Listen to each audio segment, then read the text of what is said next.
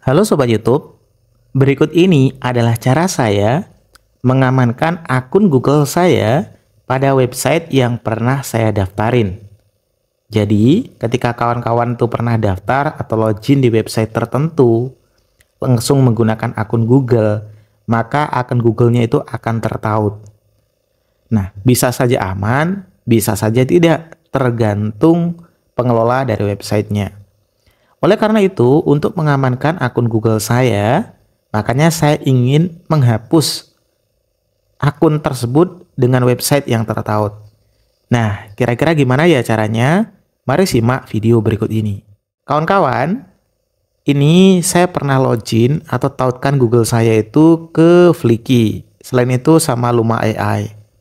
Nah, sekarang di bagian keamanan sini, jadi masuk di Google ya, terus di bagian keamanan, geser ke bawah, maka nanti akan muncul di sini.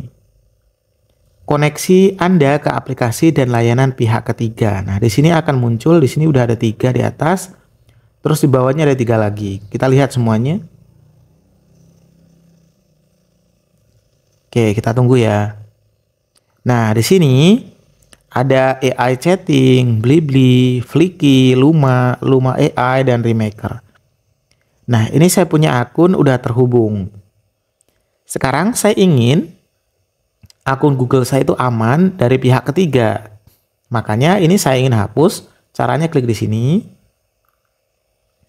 Nah, kemudian ini hapus semua koneksi dengan website tadi. Nah, kita klik aja. Kemudian konfirmasi. Oke. Kalau udah terhapus, kita kembali. Nah, kita cari yang lain lagi ya. Nah, misalnya ini ya, yang bagian ini kita klik lagi, kemudian kita hapus lagi dan konfirmasi. Kita lakukan untuk yang lain juga biar lebih aman.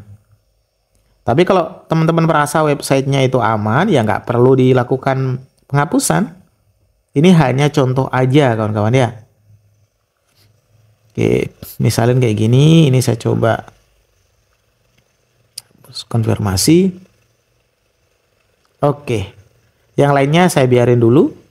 Jadi sini tinggal sisa tiga ya. Akun Google saya yang pernah login atau mengizinkan aplikasi pihak ketiga gitu ya mengakses data Google saya ibaratnya gitu.